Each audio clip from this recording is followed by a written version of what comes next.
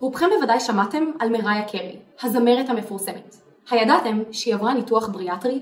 אתם בוודאי מכירים עוד הרבה אנשים שעברו ניתוח כזה, כמו קרוב משפחה, דוד או דודה, אך האם חשבתם על זה שכדאי להזהיר אותם מפני התפרצות מוקדמת של אלצהיימר? בואו אני אסביר לכם את הקשר בין השניים.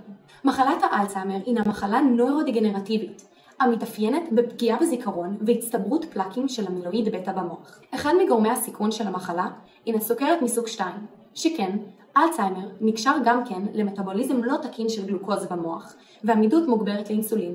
מחקרים קודמים מצאו כי ניתוחים בריאטריים ביכולתם לשפר ואף לעכב ביטוי של סוכרת מסוג 2. הבנה זו, יחד עם העובדה שאלצהיימר קשורה גם כן לעמידות מוגברת לאינסולין, מובילה להשארת המחקר שניתוחים בריאטריים ביכולתם לעכב ואף למנוע את מחלת האלצהיימר. במחקר שלנו בדקנו את ההשפעה של ניתוחי קיצור קיבה בעכברי מודל לאלצהיימר, הן על תפקוד קוגנטיבי והן על ביטוי מרקרים היסטולוגיים במוח. על מנת לבדוק זאת לקחנו שתי קבוצות של עכברים. קבוצה אחת של עכברי זן בר בריאים וקבוצה שנייה של עכברי מודל לאלצהיימר חולים.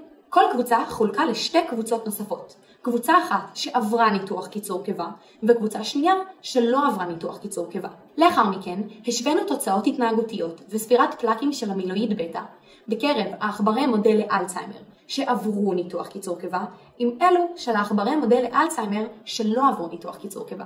תוצאות המחקר הראו כי ניתוחים בריאטריים, בניגוד להשערה, החמירו את מצבם של העכברי מודל לאלצהיימר, וכי ישנה ירידה בפעילות קוגנטיבית תקינה וביטוי מוגבר של מרקרים היסטולוגיים במוח.